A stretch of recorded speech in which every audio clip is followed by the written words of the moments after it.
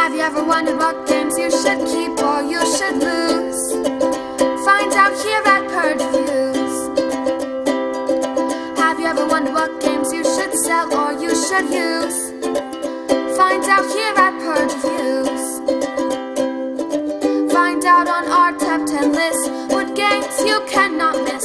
Don't forget to subscribe to Purge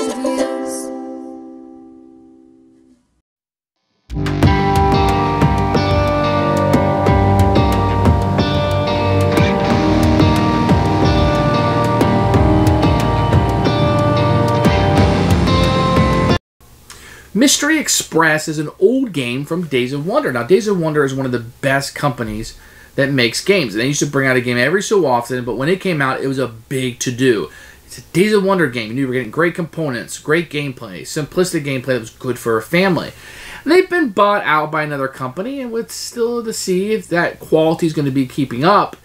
But they have a great reputation, and this is like when this game came out when Days of Wonder was really hot. Um, and to me, it's a clue killer. It's a game that totally takes clue, puts it on the on the on the back burner, and you never need to play it again. I like this that much better. So what you're doing on this one, it feels like you're taking the ticket of the ride and coming inside the train, and there's a murder going on, and you're trying to figure out who, when, what, where, and how, right? Uh, of it. And in this game, you're not necessarily going to guess at all. You know, it's who can who can figure out the most stuff in most cases. Um, it's a very neat game you kind of need to get a couple rounds of it going to kind of feel the flow and what's going on. I don't feel like you're going to jump right in and be like, ah, yeah, I got this. But I've played with people who haven't played a lot of board games who were fans of Clue, and they still kind of like the simplistic nature of Clue, and it was better for their family. They felt like this was a little bit more complicated. Um, perhaps. Uh, there are cards going around, a little bit more deduction you're going to have to do, and you have to kind of think about what you're going to do. How do I get that extra location so I can narrow something down? The time aspect of this is really hard okay? And that's it's just tremendously difficult. And a lot of times the time is something we don't give. So i'm gonna set time aside. Um, the components are fantastic and look great. Days of wonder knocked out of the park. I feel like the board makes sense. I like the places that you can do on it. I think the actions you do on it are fairly um, clear concise you know what you're doing the only thing we had problem with was the one hour one where you're kind of passing one to the left and one to the right, and then it goes around the table. Everybody does that. It was a little bit confusing of when and where and how, and I'm not hundred percent sure. I mean, I wouldn't put a thousand bucks down saying I I did it hundred percent right, but we did the best that we could. I looked online, based on what other people are saying. I, I'm pretty confident we're doing it right. Uh, but if somebody came in and said, "Nope, you tweak it just a bit, and this is how you do it," I'd be like, "Okay." Um, Minor quibble though. But the essence of the game of trying to figure it out, I really feel like that I'm trying to figure out this murder. I really feel like I'm trying to outsmart the people that I'm with because what card do you give to this person? You know that person's not going to get to see how many modus operandi cards they have in their hand. So I don't want to give them that information. So it works out very, very well for me. Um, overall, this is a very solid to great game. This is what I'm going to keep in my collection for a very long time because it is the whodunit game to me.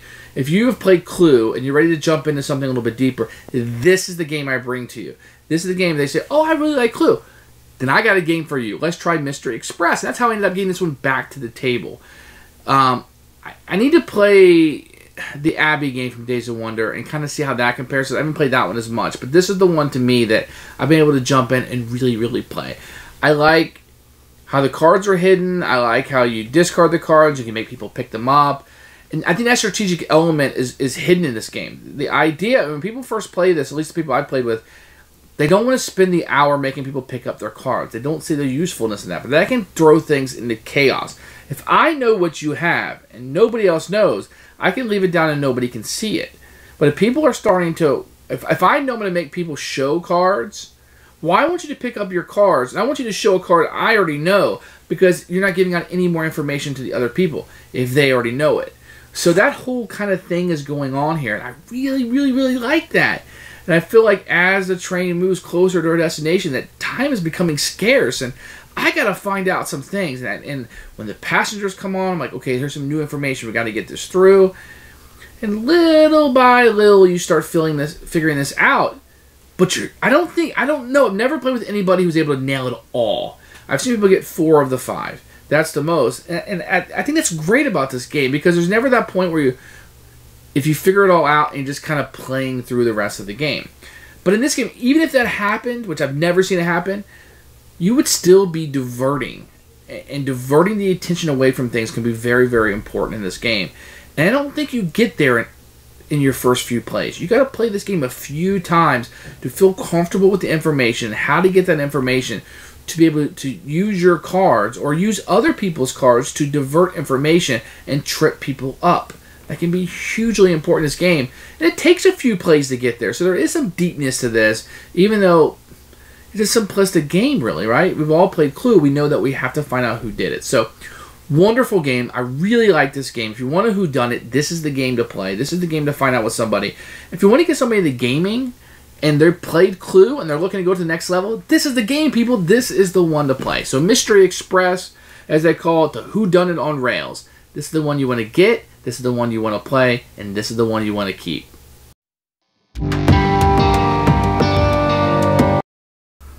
So here's Mystery Express, the old Days of Wonder clue killer, if you will. And it's kind of funny. This is like, in my mind, still in the Ticket to Ride universe. So these are the people that will be riding the train when we're playing Ticket to Ride. Uh, beautiful box art, beautiful game. This does not come with it. That is just extra stuff that I printed out.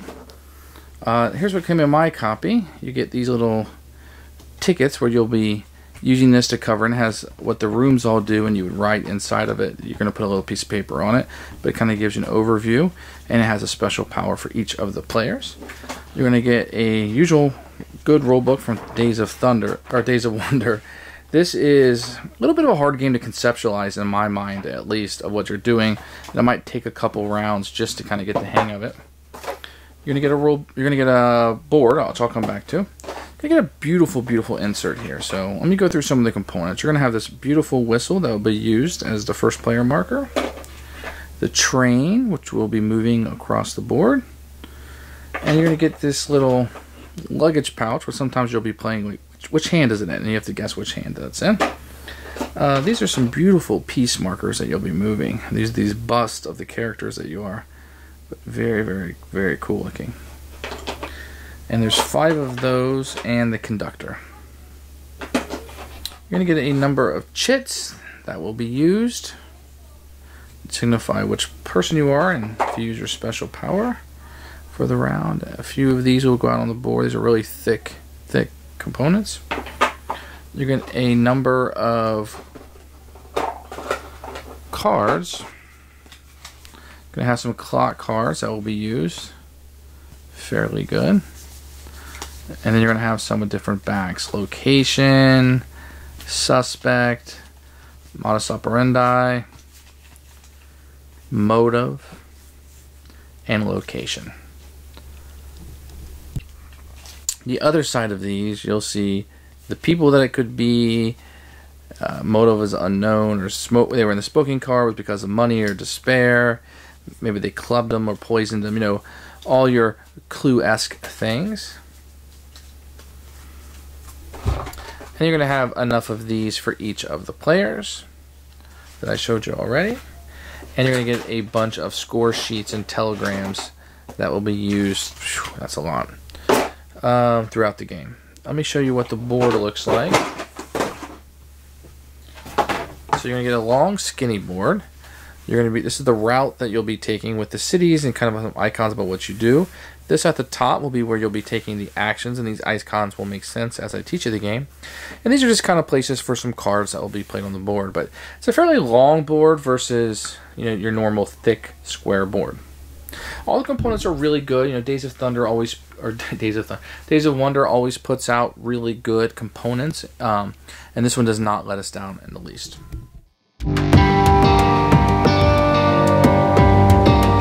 The rules for Mystery, Mystery Express are mixed bag for me. I feel like overall the rules are good, and I can see why they had some problems with this rule book. Because where do you start and what do you explain first? Okay, I'll put that aside. I don't know there's a winning combination. It may just be your style. Do you want to know what the places do first or what the stops do? Okay. One of the problems I did have is with the one hour spot, and I alluded to this earlier in the review. of how you take care of that. And when I went online, I think a lot of people had a problem with that. I don't think it was entirely clear. Okay, so I'm gonna get a car, give a car to this guy, and and get a car from this guy and give one to this guy. So this guy goes next, and I wasn't entirely clear if m- more than one person goes, because if he gives a car back to the first person, then that first person would go again from a from what I understand the reading of the rules. But we played it as everybody went once. I don't know. I'm. I went online. That seems to be how you do it, but I'm not sure the rule book. So there's some ambiguity sometimes in the rules. I don't think it matters as long as you're having fun, right? That's what games are for. So in a game like this, where we're just trying to get information, I guess it doesn't really matter how you play it. Um, more information makes the game easier. Less information makes it harder. So how do you want to play? Do you want more information or less information? Are you okay with one person getting more information than everybody else? It's it's going to happen in this game. Other than that, the rulebook is okay. I mean, I had some minor quibbles with it. I had some problems with it. You will be able to you will be able to play the game with the rules. Just say it there. But there will be some instances where you're just a little bit unclear how to go. You can rationalize it in your head and kind of figure it out. But I like it when the book tells me rather than myself having to make up rules as I go.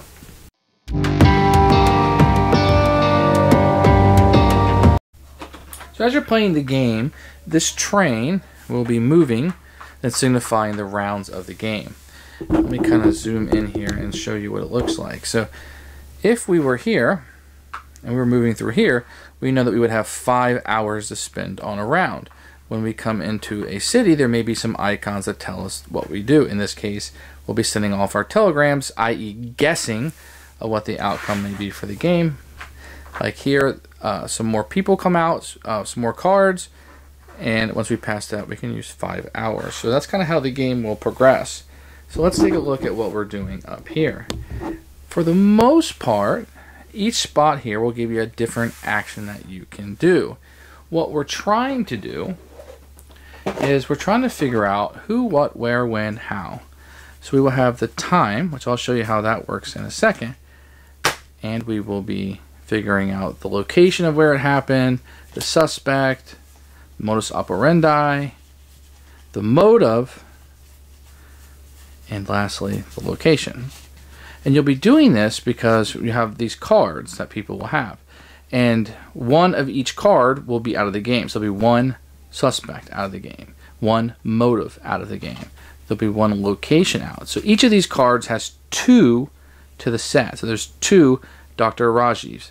If you can d- deduct by looking at people's cards that there's only one of these in the game, then you know that that must be the card and this is who who did it.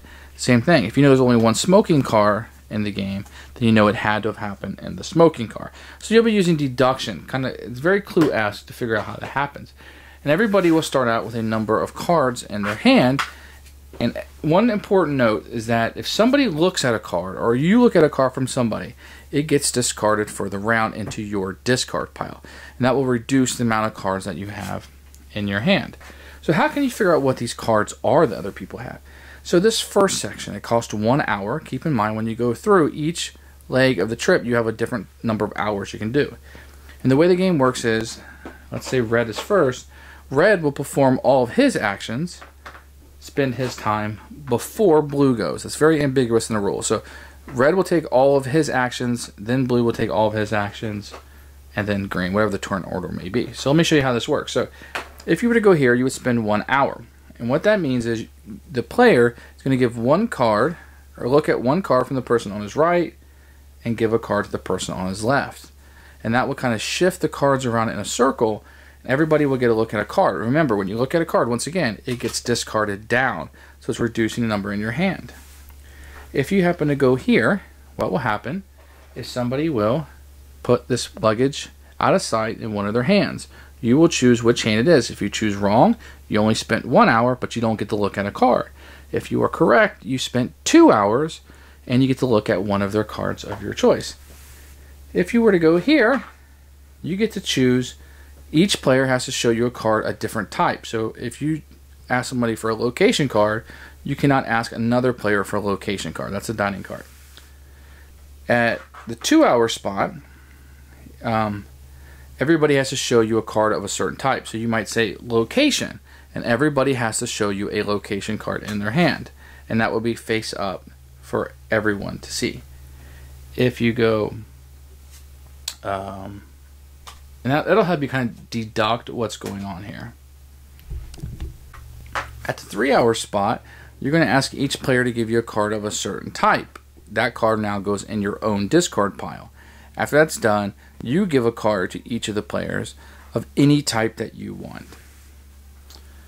The last one is you can add, now remember you're discarding cards as time goes and there aren't any cards in your hand. For one hour, you can make a person pick up all of their discard.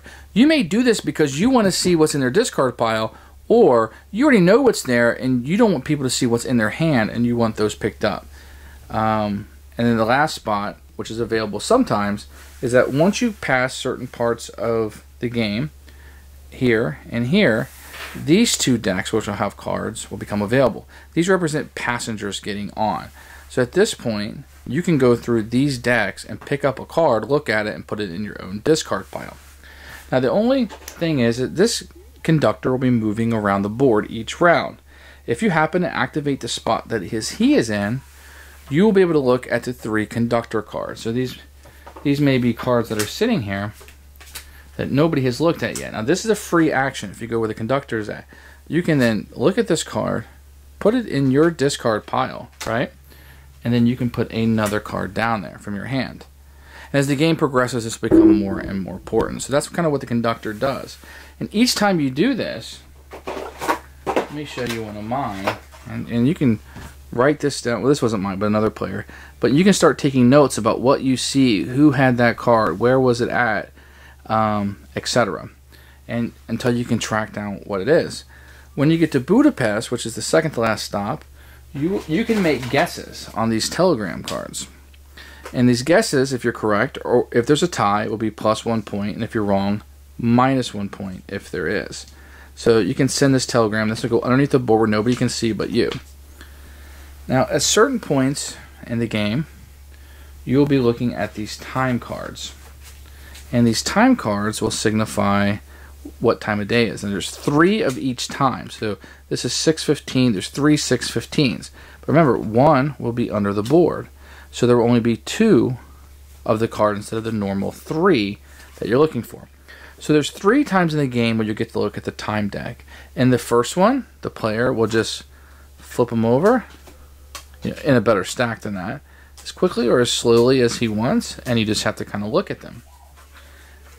In the second stop, in the second stop, each player will get an equal number of cards.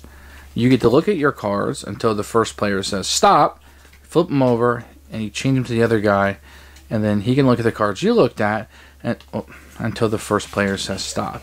And once he says stop, you can't look at him anymore. And that will go around the board. So everybody will get to look at each stack one time, but the first player is in control of that. The third one is is that there will be three stacks of cards and just kind of set them down like this and you and the first player will be divvying them out and you can look at them as they go. Keep in mind there's three of each time except for the one that is correct and there's only two. So this one can be rather tricky. This is probably the trickiest thing to see because you get to see the cards the least and it's kind of hard. Now in this game it's important to note that you're probably not going to get all five possible things that's that's a lot in this game. I see a lot of people with three or four. If you're able to get all five, congratulations. You're, you're incredible or had a really good game. Uh, the components are really good. The game flows really easily.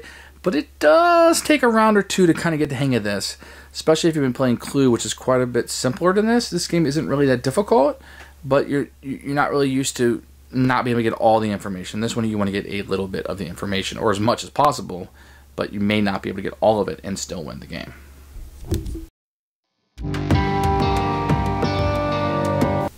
Who should buy this one? I'm going to say this is for anybody that's a fan of Clue, any family who wants a Who Done It, but you're going to need some little bit older, so let's step up from Clue.